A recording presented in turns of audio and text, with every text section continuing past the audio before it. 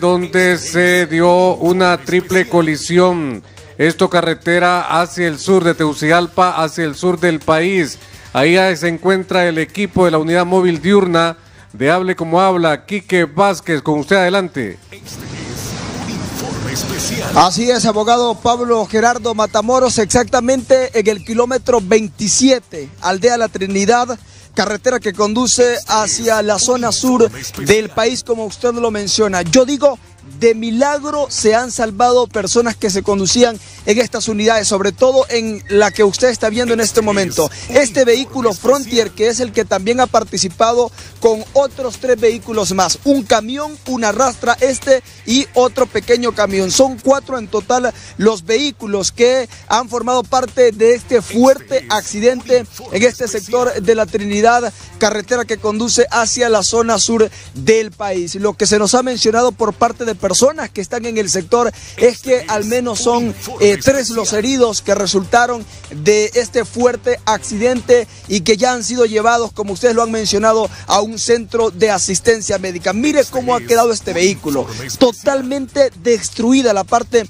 de enfrente y vamos a tratar eh, de dialogar con las personas que venían en él, porque está el conductor, es importante mencionar, mire la sangre en este sector, vemos que también comida quedó dentro del mismo, alguna carne que traían las personas y que de este vehículo nos han mencionado son dos personas que resultan heridas posteriormente de otro y hacen el total de tres, pero de inmediato ver eh, mientras mostramos este fuerte impacto que se ha generado y en este sector, gracias a Dios, no ha dejado eh, personas muertas, voy a tratar de dialogar con quien conducía el vehículo Frontier para ver cuál es el testimonio, qué realmente fue lo que pasó en este gran encontronazo. Amigo, buenas tardes. Lamentamos lo que ha sucedido, pero yo creo que es un milagro, el vehículo está totalmente destruido, el de usted. Realmente su versión, usted vivió el momento, ¿qué fue lo que pasó?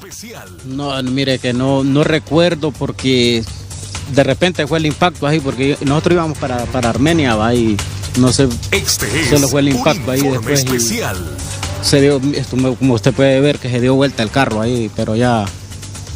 Ahora, usted era el que conducía este vehículo.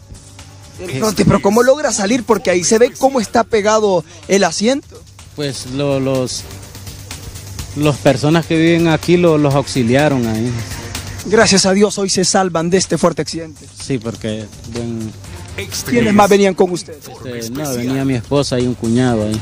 Ellos les salieron lesionado ahí, se lo llevaron para el hospital. ¿Iban bastante mal según lo que usted veía o, no, no tan fuerte las heridas que llevaban? No, no, leve. En total son tres. Sí, tres, tres. Bueno, lamentamos lo que sucedió, pero gracias a Dios eh, están con vida. Y vamos a seguir haciendo un amplio recorrido junto a mi compañero Cristian Guerrera, que de verdad nos ha demorado llegar a este sector por, el, por la gran cantidad de vehículos que hay en esta carretera y producto de ello pues bastante lento el tráfico. Mire, es este, esta rastra que como ustedes pueden observar eh, iba cargada de botes de agua y también es la que ha formado parte de este accidente. Aún las autoridades no han dado a detalle qué realmente fue lo que sucedió en este accidente. Pero mire, aquí está la rastra y es aquí donde comienzan ya los golpes del camión, que hay dos camiones, uno pequeño, uno grande, el vehículo Frontier y esta rastra que mire cómo ha quedado toda la parte de enfrente. Mire, mire qué golpe qué golpe, de verdad que hay que dar gracias a Dios porque aquí no resultaron personas muertas. Es un accidente eh, que hubiese sido fatal. Gracias a Dios, pues únicamente hasta el momento son pérdidas materiales. Tal vez algunos de los oficiales de tránsito, ustedes me pueden dar la versión que ya tienen de lo que realmente ha sucedido acá, oficial. Disculpe que lo moleste.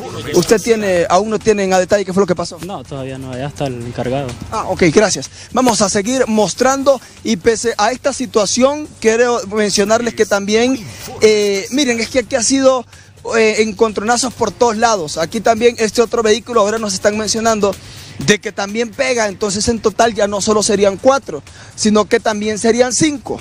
Serían cinco los vehículos, pero este solo medio fue que se ha salido de la calle. Y es importante mencionar, Cristian y Teledientes, que no quedó con pérdidas materiales. Vamos a, regresar al sector donde sí los vehículos pues tienen bastantes eh, pérdidas materiales y es donde realmente se dio este fuerte encontronazo. Aquí el número uno que únicamente lo llevaba una persona, eh, que es el conductor acompañado de otra, según la información que nos han proporcionado.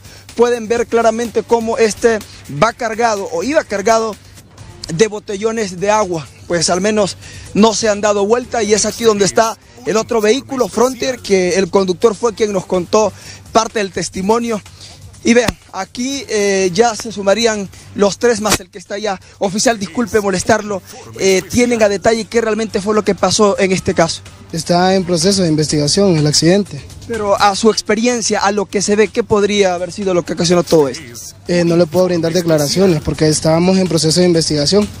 Bueno, gracias, gracias y de verdad disculpe, pero nuestro trabajo es consultar para informar al pueblo hondureño. Y miren, aquí está el, el camión, que es un camión eh, de tamaño grande, ustedes pueden observar, y cómo ha quedado toda la trompa, pues también este camión se ha dañado la parte de enfrente o se ha dado vuelta, no le veo tantos daños, pero sí por la parte de abajo, sí como pueden observar, y este lado, sobre todo aquí, mire cómo quedó, mire cómo quedó, y aquí hay otra de las personas que venían en los vehículos, amigo, buenas tardes, disculpe molestarlo, sé que está ocupado, ¿cuál de los vehículos usted conducía o en cuál venía?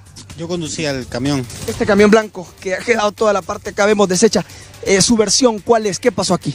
Lastimosamente al varón del pick-up se le levantó el tono y vino a impactar enfrente de mí. O sea, eh, entonces según usted, el que llevaba el vehículo Frontier, se le levanta el tono y es ahí donde viene a impactar donde usted. Exacto.